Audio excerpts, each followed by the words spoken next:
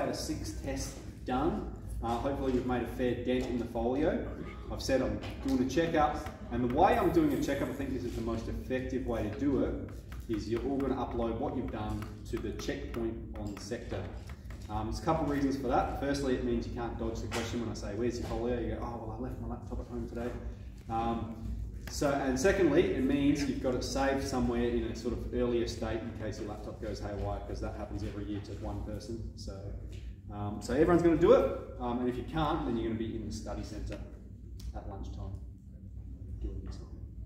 Can I go sign in? No, not right now. Come on, let's go. Let's do this first, and then you can go sign. Okay, so um, so that aside, so I want that done by tonight. It's due today, so you're going to upload it at some point today. Um, and I just want to see what you've done. I just want to see that you've made some progress. I understand some people have probably done a fair bit more than others. Um, you'll see that the draft is due at the end of week three. I'll pump the drafts out that weekend, and then the final will be due at the end of week five. Um, yeah. So we got chapter eight and nine, and they're both quite meaty. It's quite a it's, a it's a long topic compared to the last three tests we've done, but the content won't be overly challenging. Okay. Um, chapter eight starts with a lot of stuff around normal distribution, stuff we're familiar with, uh, a few new points, and then chapter nine will basically be all new, um, but it's pretty basic statistics concepts. Um, the hardest part about statistics questions is the, the mass amount of information you get and you need to filter through and go which information is important because they will overload you with information and the trick is to abstract out of that the stuff that's important. Okay, so let's get in here. We've got 8a and 8b.1. Now my example here, it actually goes through 8b.1 and 8b.2. Today we're going to do 8a and 8b1 and then tomorrow's lesson is dedicated to 8b2. So really I'll probably just teach today. Um, in tomorrow's lesson we can um, spend some time finishing off 8b1 and 8b2 and maybe even some folio time. Basically we'll have in-class folio time whenever um, like we finish our content early. And it should happen a fair bit, particularly with the chapter 8 stuff. Okay, so um, over here on 8a, right, we've got continuous random variables. So remember, remember just with variables, just to recap, we've got continuous and discrete. Okay, discrete are things that you count. They take whole integer values, like the number of people in the classroom. Continuous are things that you measure, okay, like uh, head circumference, how long someone's hair. Okay, they're things that you measure and they occur over an interval. In our example here, we've got the weight of an egg. How heavy is an egg? Um, so we've got between 50 and 55 grams, we had six eggs. Okay, that's that frequency column there. Between 55 and 60 grams, we had 13 eggs. Uh, between 60 and 65 eggs, uh, grams, 20 eggs. All right, so that's the weight of eggs, and then in the second column on your page there, you've got how many eggs, and then up here I've put the relative probability, okay? So here we had, uh, what was it, six eggs out of 50 eggs in total. So six divided by 50 gives you 0.12. All right, so there we have a, um, uh, the distribution um, from the frequency table, and then beneath that there's a histogram. Okay, histogram showing the probabilities, uh, or the frequencies, sorry, with, the, with regards to each respective weight band. And we've got one question here. Um, uh, the probability, so let's just read that part, part first. The probability of a continuous random variable being equal to an exact value is always zero. Okay, so that's an important point. For continuous random variables, um, we're always calculating probability over an interval. Whereas remember with discrete, all right, we're rolling a dice and we're saying what's the probability of it landing on one? It's always a whole integer value. Um, whereas, whereas continuous, it's always going to be over a spectrum. Um, and you'll remember that normal distribution. Okay, you can't say what's the probability of this event occurring. Okay, that doesn't make sense. It's always between two events. What's the probability of this event occurring? Okay, between this lower boundary and this upper boundary. Always the case with continuous variables. So that's what the first statement's saying there. Um, the, you know, the weight of an egg is 62.9 grams. Okay, what's the probability that weight of an egg is that? It's going to be zero. Okay, because 62.9, well that means 62.9 uh, 0, 0, 0, 0, 0, 0, okay? And really, you can keep adding zeros, and any egg you get is always going to differentiate it from by some degree, okay? At some point. Okay, moving on, that's all. Find the probability that the weight of a randomly selected egg is between 55 and 65 grams. Okay, so here's the band of eggs that are 55 to 60 grams. Okay, that's 0.26. And then here's the band of eggs that are 60 to 65 grams. So this is what we're interested in, isn't it? We're interested in eggs that are between 55 and 65 grams. So the probability of that occurring is going to be the sum of these two. We've got 0.66. Okay. So that's just reading a frequency table. That's what you're doing in a bit of 8A there, reading frequency tables and performing calculations around. them. Okay, move on to 8B.1. All right.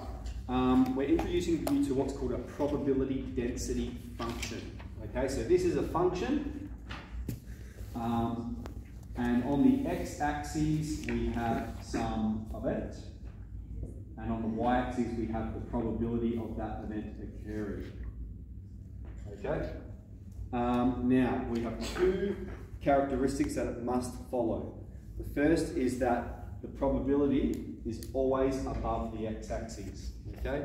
If you can't have a negative probability of any event, it's either zero or between zero and one. All right? Um, so it can't be below the x-axis. And then the second property is that the area under the curve for which it's valid has to add up to one. Sum of all probable events is one. Okay? So let's get into our example here. We've got um, this function here, x on a. f of x is x on a. It's valid between 0 and 4. Okay? It's valid between 0 and 4. And we're, we're told find a given it's valid. Okay? So because it's valid, it means the area under the curve. Now you might look at that and go, I don't know what kind of curve it's going to look like. I'll explain some of my thinking around it. I know it's going to be the equation of a line, okay, because one way you could write it is like this. It's 1 on a times x, so it's, it's like mx. Okay, it's the equation of a line going through 0, 0. a is going to be some whole number, all right, and x is our variable. All right, so I know it's going to be the equation of a line, and we're, what we're saying is the equation of a line, we're not sure how steep it is because that's what this value is going to dictate. That's the slope, that's going to dictate whether it's really shallow or really steep. But we do know from 0 to 4, okay, that's what we're told, between 0 and 4, the area under the curve is 1. Okay, so what is this value of a that makes it true? Um, so, we're going to have the integral from x on a with regards to dx from 0 to 4 equals 1. And we're going to solve this problem for a. So probably what I'll do, like I've done there, um, let's go through this slowly because it might be a bit distant in our mind. We can write it like this. Let's pull the 1 on a out the front because that's what we're trying to solve for. Perform the integral. We're going to have x squared on 2. Okay. So what did I do? I pulled 1 on a out the front. I've integrated x on uh, x by itself. There's x squared on 2. That's the boundary over which we're integrating. Now we're trying to solve for a, okay? And so we could we could end up expanding it and, and that, but I see a really quick solution, okay? We've got 1 on a. We want to get a by itself. If we multiply both sides by a, okay, over here this cancels, and here we're left with the x squared on 2 from 0 to 4. And over here we've got a. We've already isolated a straight away, and then this is all we need to perform. We're going to have um, 4 to the power of 2 on 2, take 4 to the power of 0 on 2, and that's 16 on 2, that's 8. A has to equal 8. Okay, so if A equals 8, then we have a valid probability density function.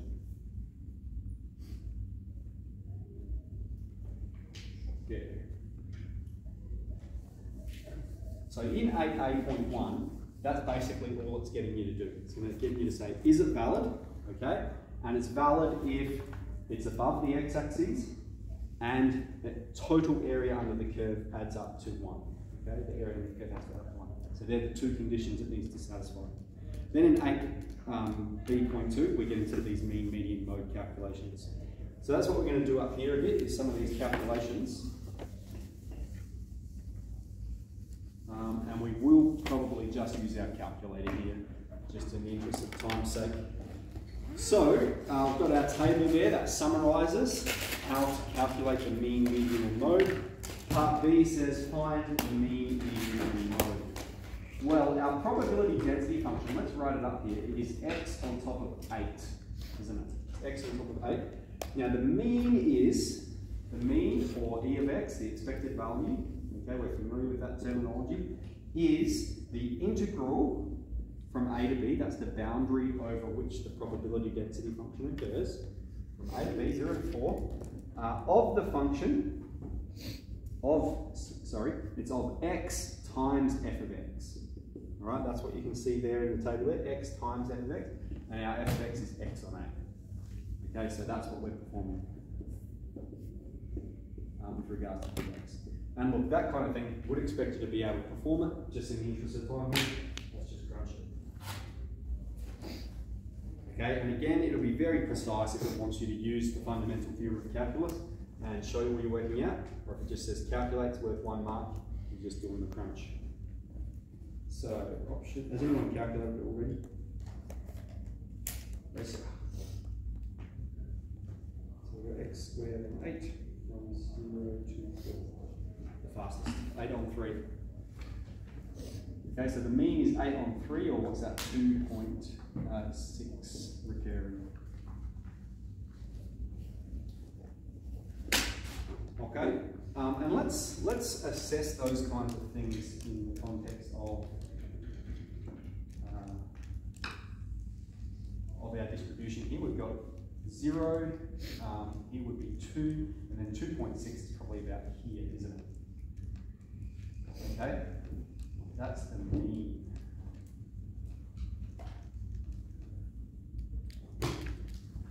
All right, uh, next we'll calculate the median. Okay, the median is the value of m. Let's call let's use um, lowercase m to denote the median.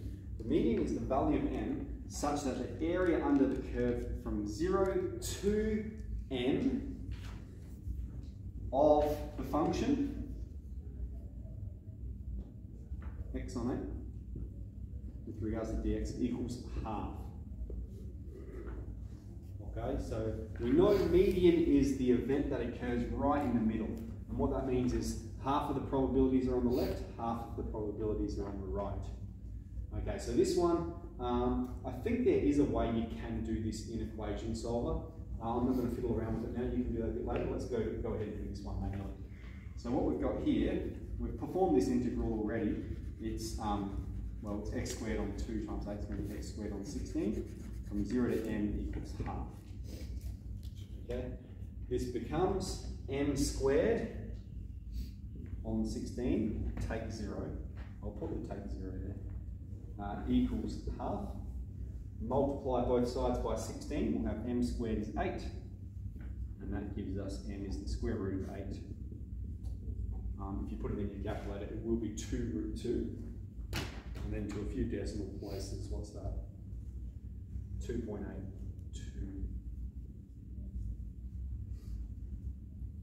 Two point eight three, sorry. So there's a mean, there's the median.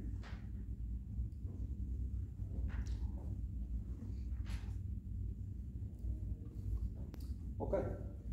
And then uh, the mode is the value of x which maximizes f of x. Okay, so what that means is along here, along this curve, what is the x value of the highest point? All right, so here this is the maximum point on it, isn't it? Okay, it's the value with the highest probability. It occurs at x is 4.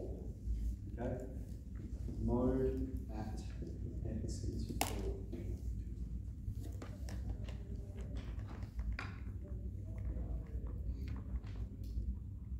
All right uh, find the variance and standard deviation. So we'll do the variance first and then we'll perform the square root of it. So it might come up here.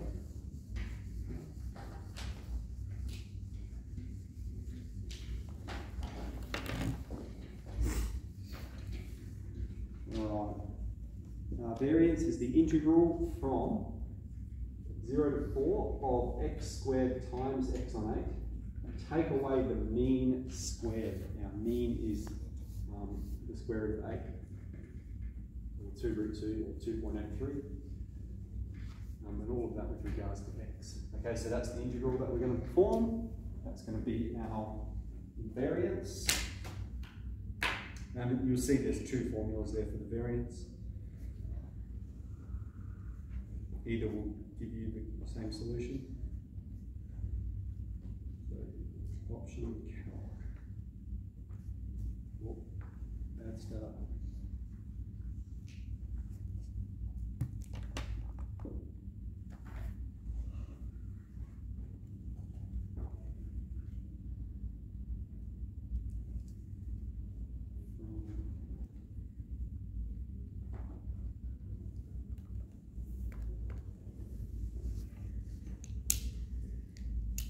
minus 24.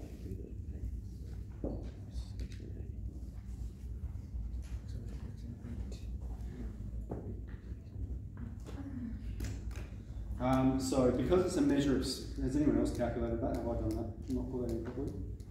I'll just put brackets here just to double check that. Zero to four of, yeah. So because it's a measure of spread, Okay, because it's a measure of spread, it's like saying how long is it? It needs to be positive. Um, so when I calculate this, I got minus 24, so therefore the length of it is 24. Okay, it has to be a positive unit because it's a measure of, of spread. And therefore, um, so that's the variance, and then the standard deviation is the square root of the variance, which is the square root of 24. Okay. Find the probability, so that was part C. Part D, find the probability of uh, the event occurring between 1 and 2. Okay, and so what this means, we know um, on the y-axis we have the probability. The area under the curve is the probability, sorry. So the integral from 1 to 4 of our function, 1 to 4, 1 to 2, of x on 8 with regards to dx that's going to give us the probability of it being between 1 and 2. Okay, it's saying what's the area of this point? What's the probability of the event between x is 1 and x is 2 occurring? Um, so perform that calculation of x on 8 from 1 to 2. I've got 3 on 16. Okay, so this is a good uh, introduction to it. Um, 8A, 8B1. I think tomorrow I, there is something I will talk about actually. I will talk a bit about um, uh, what, do you, what do you call it again? Positive skew and negative skew and how that affects the mean median mode. Um, because no doubt that will pop up a bit. Hopefully not today, so we'll do it tomorrow. All right, let's get into it. So that's 8B.2 and 8B.1, 8B.2 and 8A.